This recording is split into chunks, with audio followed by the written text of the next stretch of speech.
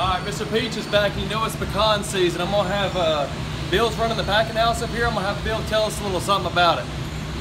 So, pecan season, October through about middle of January, we'll run approximately 50 to 80,000 pounds of pecans a day, and we're gonna show you how it's done right now.